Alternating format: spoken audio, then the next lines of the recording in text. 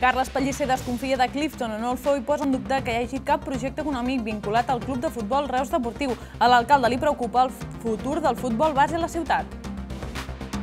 El JAPEC demana que la depuradora de Reus reutilitzi més aigua. Segons asseguren, la ciutat desaprofitaria al voltant de 6 hectòmetres cúbics l'any. Per això reclama al govern local que posi mesures per evitar-ho. Agents de la Guàrdia Urbana de Reus dels Mossos d'Esquadra han intervingut fins a una trentena de connexions il·legals de llum i aigua aquest matí. Com a mínim, seria la tercera vegada que realitzen una operació d'aquest tipus. El juvenil del club de futbol Sala Reus cau davant del Nàstic per 2 a 5. Tot i això, els reusencs continuen intentant escalar posicions a la classificació. Per ara ja s'han proclamat campions de la Copa Tarragona.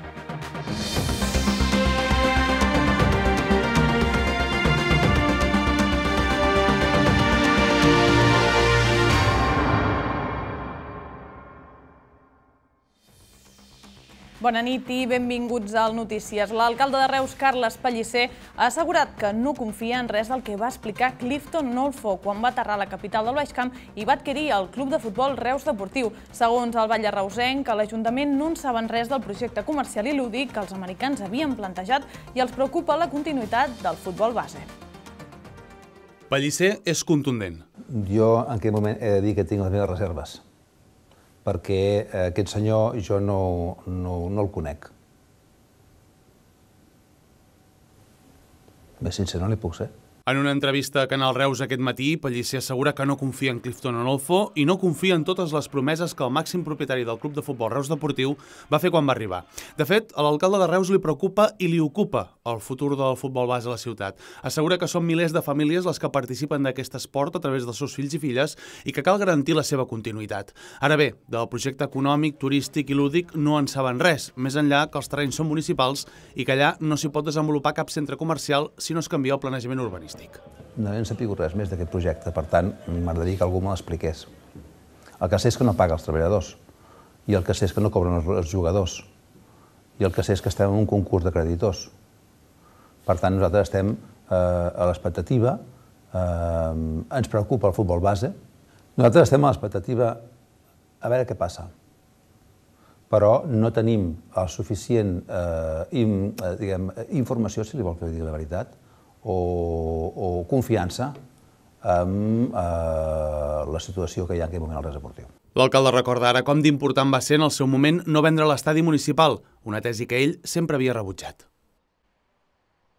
I no deixem de mirar cap a la política municipal perquè Andreu Martín està presentant als militants socialistes la llista que vol portar el pròxim 26 de maig.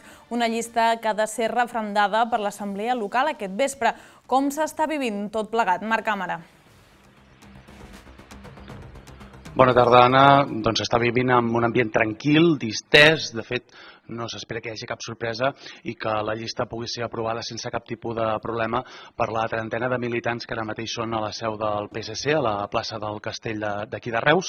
Una nit que és molt més tranquil·la, com diem, que la de fa vuit anys, quan alguns fins i tot van arribar a anomenar-la la nit dels gabinets llargs. Aleshores, hi va haver una purga al capdavant del PSC quan es va apartar Eduard Ortiz, la mà dreta de l'aleshores alcalde i que pugnava per eh, aconseguir el seu quart mandat consecutiu al capdavant de la plaça del Mercadal. Aleshores, Eduard Ortiz va ser substituït per Teresa Pallarès, qui va anar de número 2 al darrere de Lluís Miquel Pérez, i ara Teresa Pallarès, curiosament, és la número 3 de la llista de Junts per Reus. A la nit d'avui, el que s'espera és que s'aprovi una llista que concorrerà el proper 26 de maig, liderada per Andreu Martín, i després amb membres de l'executiva local, als quals Martín ha volgut agrair el seu esforç en aquests anys en els que ha costat aixecar el partit a la plaça del Castell. De número 2 anirà Anabel Martínez, qui ara també l'ha acompanyat al, consistori. De número 3, el Raimon Ferrer, qui també és membre de l'executiva local, secretari de Polítiques de Benestar, i a més a més és cosí de l'anterior eh, cap de llista socialista, senyor Francesc Vallès. Eh, de número 4 anirà Sandra Guaita, recordem que Guaita a més a més és la número 2 de la llista dels socialistes al Congrés i s'esperaria que en el cas que fos escollida diputada i també regidora optés per anar a Madrid i per tant podria deixar l'escó al consistori. De número 5, Dani Marcos, el secretari d'organització, qui també és el cap de campanya d'Andreu Martín, de número 6 Carmina Pozuelo i de número 7 Héctor Fort. Els set primers, llista, set, set primers números de la llista, per tant, gent de l'executiva, gent de pes, gent del Pinyol d'Andreu Martín, tot i que no es descarta que d'aquí fins al número 27 hi hagi algun fitxatge de la resta de la ciutat.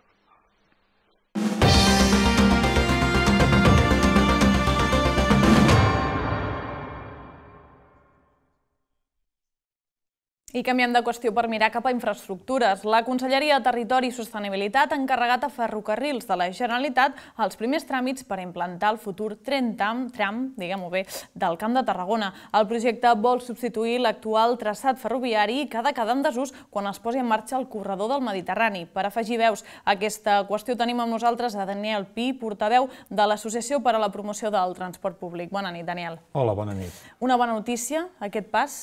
És que d'estudis ja en tenim molts. A nosaltres la veritat és que tenim molt de por que això no sigui res més que una cortina de fum. És a dir, eh, Ferrocarrils de la Generalitat ha agafat moltes línies fetes malbé i les ha transformat. Però mai les ha eliminat. Les ha transformat progressivament. Primer ha posat vagons més moderns, després ha fet que els passos a nivell siguin molt més operatius i les ha transformat extraordinàriament bé. Però Ferrocarrils de la Generalitat el que no ha fet mai és agafar unes vies, treure-les, eliminar-les i després ja ho farem. Aquest tramvia que ens prometen, només pel fet de fer-lo sobre unes vies que s'han desmuntat, és molt més car. Tenim en aquests moments diners per fer això? O és que ens estan venint una moto com en el seu dia, els de Reus, això ho sabem molt bé, ens van dir que farien un tren vertebrat i el que vam perdre va ser el tren que anava de Reus a Salou. Uh -huh. Molt ens temem que això sigui el mateix. Com que la gent que volem mantenir el servei i transformar-lo, anem parlant, anem explicant, i molta gent se'n dona compte del disbarat que és eliminar aquesta línia, doncs ara, per tapar una mica les vergonyes, encarreguem un estudi. No és un estudi el que fa falta. Per tant, desconfiança plena, eh, pel que vostè Sí, sí, desconfiança plena. Ens fa molt de por que això sigui una cortina de fum. I ens sap greu, perquè la Generalitat de Catalunya té competències plenes per fer això. El que passa és que les ha de voler exercir. I sembla com si d'alguna manera li vol fer el caldo gordo que diuen als ajuntaments de Salou i de Cambrils. En aquesta línia, el mateix eh, conseller Damià Calvet, Calvet ha parlat de reunir alcaldes, Generalitat i també Estat per eh, aclarir el calendari. Creu sí. que falten les entitats com les seves? No és que faltem les entitats, és que potser, a vegades, quan hi ha voluntat per exercir les pròpies competències, no fa falta tantes reunions de coordinació. És a dir, en aquest cas, el Ministeri ha fet la seva feina. I la feina del Ministeri consisteix en dir, mirat de Mulls de Barcelona i mirat de Mulls de València, no hi ha cap necessitat de passar pel mig de Sol o pel mig de Cambrils. Per tant, faig un desviament que passa per fora. I això està molt bé, nosaltres ens alegrem molt. Uh -huh. No fan cap servei als euromets de 120 o els trens de mercaderies pel mig de Salou. No els volem nosaltres tampoc. Ara bé, aquí tenim dues estacions que tenen 675.000 viatgers. Uns viatgers de regionals, competència de la Generalitat de Catalunya, amb un operador extern, que és Renfe, però competència de la Generalitat de Catalunya. Escoltin, facin el que han de fer, mantinguin aquesta estructura, la continuem servint momentàniament amb el servei actual i molt ràpidament, tan ràpidament com vulguin, l'anem transformant. És el que s'ha fet a la línia del Poble de Segur, on s'ha canviat l'operador Renfe per l'operador Ferrocarrils de la Generalitat, però no s'ha deixat de prestar el servei ni un dia. Nosaltres tenim una absoluta desconfiança en que la Generalitat vulgui fer alguna cosa més, a part de justificar el que és injustificable, -huh. perdre un servei ferroviari per 700.000 persones cada any. En aquesta línia sentíem també la veu de l'alcalde de Reus, Carles Pellicer, um, que ell defensava que aquest tren tram passés també per la ciutat. Ho veu vostè viable o possible? És que més de, que, de, de parlar de per on ha de passar el tren tram és tot el conjunt de serveis. Però és que nosaltres també en sortim, a Reus també en sortim perjudicats d'aquest fet, d'aquest plantejament que es fa. Els trens que aniran de Barcelona a Tarragona i que acabaran a Port Aventura no donaran servei a Cambrils, a Tortosa, però és que tampoc no ens donaran servei a Reus. El fet de que hi hagi una línia més en cul de sac farà de que les freqüències de Reus es vegin perjudicades. Per tant, d'alguna forma, tot el que s'ha fet és no només no avançar, és a dir, els temps de recorregut són pitjors que fa 15 anys, el servei, els vagons són més vells que fa 15 anys, sinó de que sobre, molt probablement, en els propers temps, el servei encara empitjorarà. I això, clar, és realment una pena un desmantellament que fa pocs dies anunciaven no, que portaven a Fiscalia. En aquesta línia hi ha alguna novetat? No, nosaltres, és a dir, aquí hi ha una sèrie d'incompliments legals obvis. En primer lloc, hi ha totes unes lleis de tipus urbanístic. El que diu el Pla Territorial Parcial del Camp de Tarragona és que allò s'ha de transformar, no que s'ha d'eliminar. Però hi ha també uns incompliments del sector ferroviari. El, el, tantes vegades que anomenen la declaració d'impacte ambiental, aquesta declaració d'impacte ambiental té més de 10 anys i està caducada. Per tant, hi ha un seguit de temes de tipus legal, de l'índole legal, que nosaltres els hem portat a la Fiscalia perquè faci el seu camí. Però amb això no en tenim prou. Eh? Molta gent hi ha que no vol que aquest desmantellament es faci, vam fer recentment una primera trobada i encara plantegem més accions de cara al futur. En aquesta línia, fa unes setmanes feien reivindicacions, tornant a sortir al carrer, Daniel? Sí. Està previst, però en aquest cas ja no només som les entitats que defensem el, el servei ferroviari, sinó que aquí hi ha els sindicats, comissions, UGT i la CGT, aquí hi ha Greenpeace, aquí hi ha Ecologistes en Acció, aquí hi ha la Confederació d'Associacions de Veïns de Catalunya, aquí hi ha les associacions de persones amb discapacitat física i, per suposat, estem els defensors del ferrocarril. I quan serà I tots això? aquests el dia 6 d'abril, un dissabte, al matí, farem una concentració important a l'estació de Salou, on, a més a més, ja des d'ara convidem absolutament a tota la ciutadania a participar-hi. Doncs Daniel Pi, eh, portaveu de l'Associació de Promoció del Transport Públic, ens quedem amb aquesta crida que fa la ciutadania. Anirem Gràcies. parlant. Moltíssimes gràcies. Bona nit.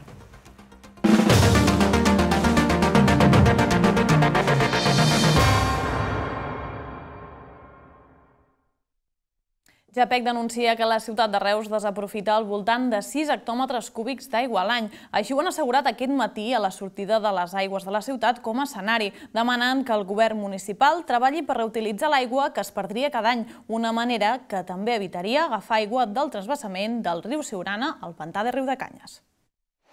Reutilitzar l'aigua, aquest és l'objectiu de l'entitat ecologista JAPEC davant la crisi oberta del riu Siurana. Aquest dimecres al migdia han denunciat prop de la depuradora d'aigua de Reus que la ciutat estaria desaprofitant prop de 6 hectòmetres cúbics d'aigua a l'any, una quantitat que asseguren que és la mateixa que es trasbassa anualment del riu Siurana. Més o menys aquests 6 milions de metres cúbics que no es reutilitzen, de l'aigua que surt aquí al davant la podem veure, és més o menys l'aigua que s'està trasbassant actualment des de Siurana cap a Riu de Canyes, de mitjana, més o menys cada any. D'aquests 6 milions de metres cúbics, eh, n'hi ha dos mm, aproximadament que són els que utilitza eh, l'Ajuntament de Reus i els altres quatre que suposadament van per a utilització agrícola. En aquest sentit, consideren que des d'Aigües de Reus s'ha evitat reutilitzar aquest bé hídric a la vegada que consideren que al Camp de Tarragona no hi ha escassetat. Sabem que ja estan ben servits amb l'aigua del Siurana, amb la qual és més econòmic per ells llençar aquesta aigua i agafar-ne neta d'uns altres. I que podria ser l'ús del Siurana només per rec.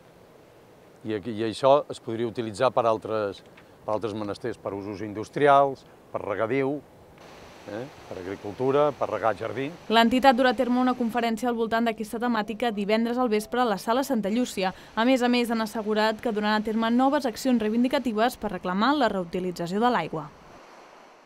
I Cambrils ha acollit aquest matí a més d'un centenar de mestres i alumnes amb motiu del fòrum del programa Escoles Verdes. La trobada ha comptat amb 23 centres de primària de les comarques del Baix Camp, el Tarragonès i l'Alt Camp. L'objectiu ha estat compartir experiències i propostes per millorar la sostenibilitat a les escoles. A la tarda, els alumnes seguiran l'activitat a la platja on recolliran microplàstics de la sorra.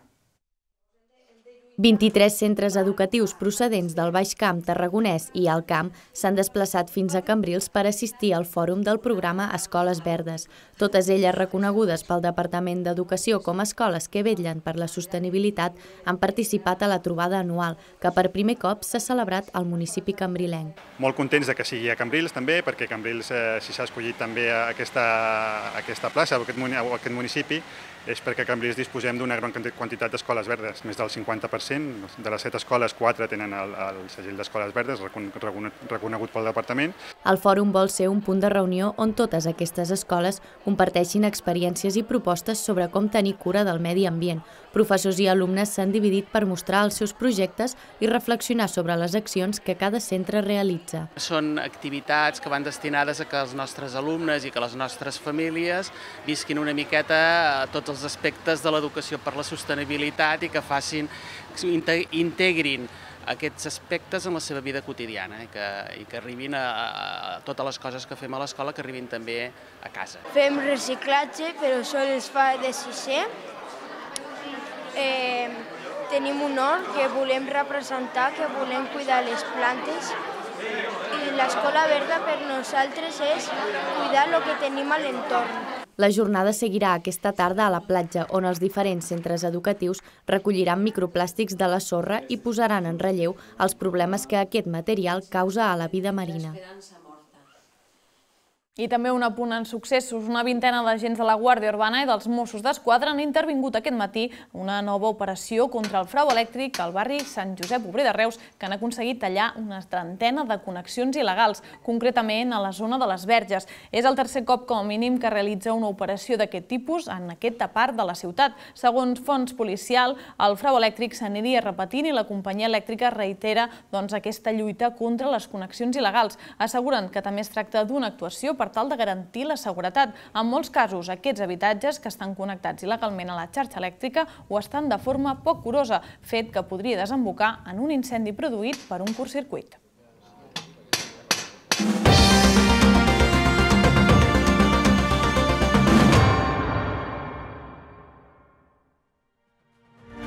Una setmana més volem mirar cap al món econòmic amb la nostra companya Neus Bartola. Bona nit. Bona nit, Anna. Avui mirem cap a turisme. Així és, i és que ahir es va presentar aquí a Reus el nou pla de màrqueting turístic de Catalunya per als pròxims quatre anys un document amb el qual la Generalitat vol posicionar Catalunya com una de les millors destinacions turístiques del món. Per aquest motiu, el director de l'Agència Catalana de Turisme, David Font, està viatjant arreu del territori per a donar a conèixer una vintena d'iniciatives. Entre elles, destaca la implementació dels nous productes anomenats 4D, els quals contribueixen a la desconcentració, la desestacionalització, la diversificació i l'augment de la despesa dels turistes. Tanmateix, una major oferta d'experiències fora de temporada alta, el desenvolupament desenvolupament d'una estratègia de màrqueting digital, un nou sistema de marques i la creació de la marca Gran Tour de Catalunya. Un tour que, segons David Font, ajudarà a visibilitzar tot el territori català.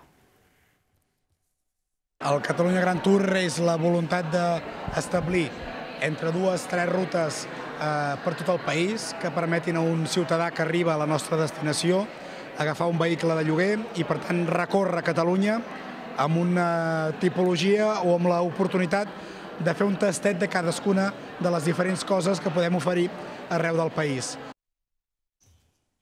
Per tant, doncs, amb aquesta iniciativa, quins objectius hi ha al darrere, Neus? Doncs amb aquest nou pla de màrqueting es pretén incrementar un 9% els viatges dels, els, sí, dels turistes durant els mesos de març, abril, maig i octubre, així com augmentar la despesa mitjana per turista i dia. Pel que fa a la desconcentració territorial, es pretén incrementar en un 11% el nombre de viatgers que s'allotgen en establiments turístics fora de la costa.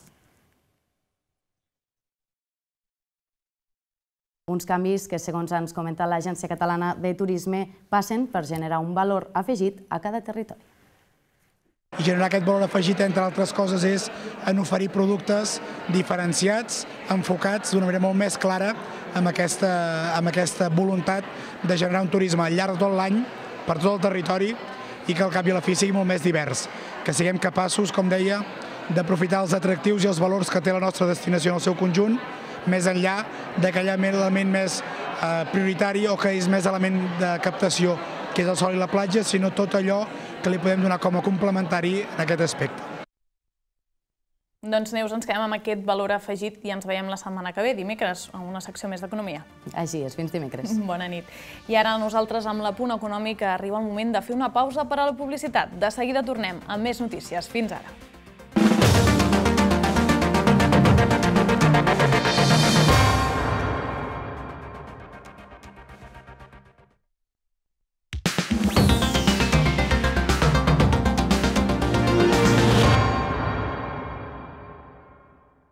El juvenil del Club Futbol Sala Reus ha disputat el derbi contra el Nàstic aquest cap de setmana emmarcat dins de la Lliga de Primera Divisió Juvenil. Malgrat perdre el partit 2 a 5, els reusencs segueixen endavant per guanyar aquesta competició i sumar-la als assolits aquesta temporada, com la Copa Tarragona, un torneig al qual van quedar en primera posició. El Club Futbol Reus arribava empatat amb el Nàstic en aquest partit de Lliga de Primera Divisió Juvenil en un derbi vibrant. Un partit on els reusencs reconeixen que l'equip tarragoní va jugar molt bé, però també s'ha de tenir en compte algunes lesions sofertes durant els últims dies, abans i durant el maig. El resultat, dos gols a cinc a favor dels tarragonins. I en quant a la Lliga, doncs, eh, arribàvem empatats amb el Nàstic, i ara amb aquesta derrota doncs, estem també empatats amb el gol a Baraix, però ara ja necessitem resten 8 partits, nosaltres hem de guanyar tot i esperàvem una punxada d'ells. Ara l'equip reusenc té per objectiu guanyar la Lliga i jugar al play-off per també guanyar-lo i aconseguir l'ascens a primera divisió d'honor juvenil, una fita que volen assolir i sumar-la a la victòria en la Copa Tarragona, on sí que van guanyar el Nàstic i a la Pobla de Montornès. Gràcies a aquest triomf, aquest dijous tindran l'oportunitat de disputar un partit de setzents de final de la Copa Catalunya contra el Salou Juvenil Nacional, un equip que està a dues categories per sobre dels reusencs. La veritat és que factible, eh, tenim un gran equip, són una gran generació de jugadors, porten junts des de l'E20 i sempre han estat guanyant lligues i, i competint a un gran nivell i, i tant, i tant, és factible, i tant. Per altra banda, el club també està potenciant l'equip femení, una alineació cadet que està tenint bons resultats jugant en la Lliga Base i a segona divisió sènior. I com a projecte per a la temporada que ve, l'entitat vol tornar a crear l'equip sènior masculí.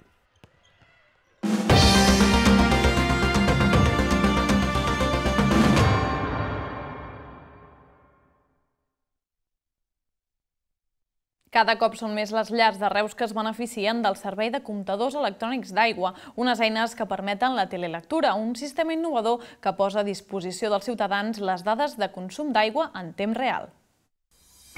Els comptadors electrònics són uns comptadors que ens permeten fer unes lectures d'aigua a temps real, per, per tant són molt més eh, eficients, que emeten unes senyals de baixa freqüència que estan connectades amb una centraleta a internet i on l'usuari el que pot fer és configurar-se el seu consum d'aigua, eh, pot graduar-se algunes alertes doncs, de, de consums i per tant el que intentem és ajudar el ciutadà, l'usuari d'aigües de Reus mitjançant una plataforma web. L'usuari l'avantatge principal que té és que pot fer un seguiment quasi dia a dia del seu consum.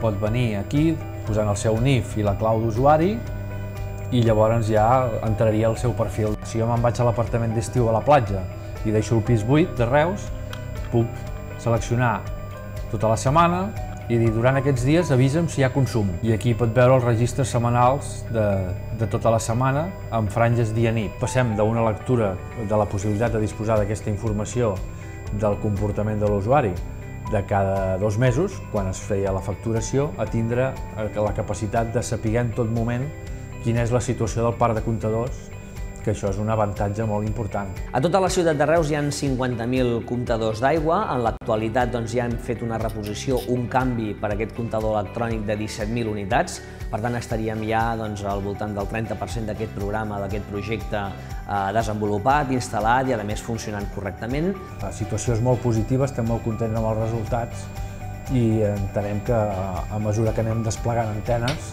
anirem obtenint millors resultats i encara tindrem una capacitat major de dades. Des d'Aigües de Reus i des de la ciutat de Reus sempre hem cregut que hem d'estar al capdavant de les adaptacions de les noves tecnologies. El que ha volgut és ficar al servei del ciutadà un, un nou, una nova eina totalment gratuïta que li ha de permetre doncs, fer la vida molt més fàcil tenir uns consums d'aigua molt més regulats i controlats, perquè això també ho permet, i després doncs, la, la, la, la tecnologia adaptada amb altres necessitats. Som un referent internacional, diria, quasi bé, quasi bé mundial.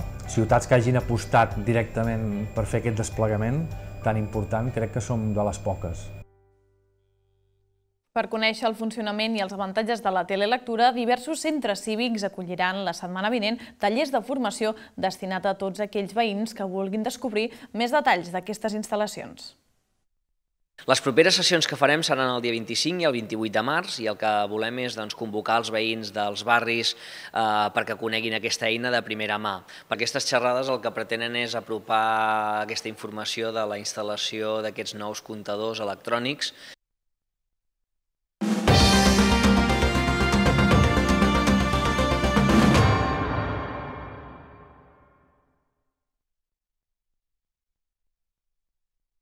I amb aquesta mirada a la setmana de l'aigua posem el punt i final a l'informatiu. Nosaltres hi tornem demà a partir de les dues del migdia. Fins llavors, ja saben, poden seguir informats a través de la nostra pàgina web canalreustv.cat i les nostres xarxes socials. Que passin una molt bona nit.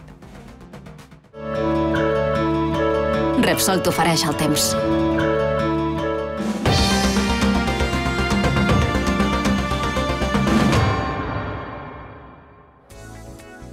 Entrem a la primavera amb un temps completament estable, sense canvis. Demà dijous tindrem un dia amb sol i amb alguns núvols al tard, però sense rellevància. Les temperatures no patiran gaires canvis, però seran una mica més càlides en comparació a les jornades anteriors, tant les mínimes com les màximes. El vent bufarà moderat de component sud-est amb cops entre 10 i 20 km per hora.